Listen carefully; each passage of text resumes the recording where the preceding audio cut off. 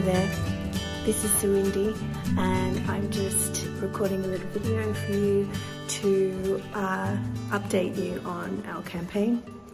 We are still in the process of um, completing our ecological educational centre.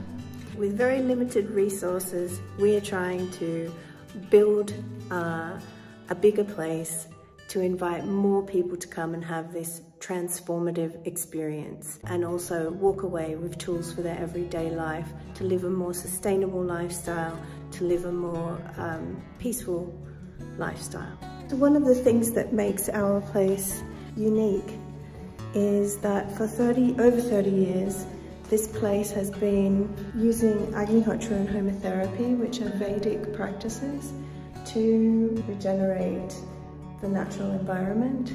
And we've had a lot of people coming to our, our place and saying that it's like stepping into another world. I have seen over the years incredible results with our um, agriculture. So with the organic gardening, with the way that the animals are treated here with absolute um, respect and care.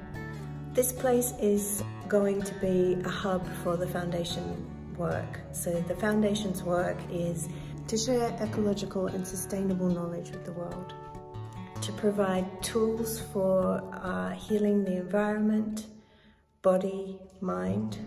It's a place where you can delve deeply into self-development because you have the time and the space for it. Right now, we are raising money to complete the Centre of Light. Uh, this is going to be a big labor of love and we need your help. So far, we've, with the great help of donors and supporters and uh, foundation members, we've been able to get to this point where basically the whole building is finished. Um, we just need to complete the interior. So I invite you to get involved in our campaign and um, please get in contact with us. Um, donate if you feel if you're feeling generous.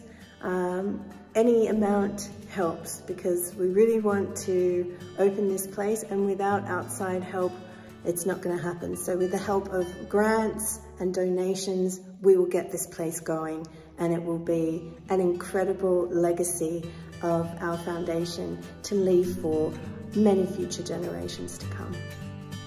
Thank you.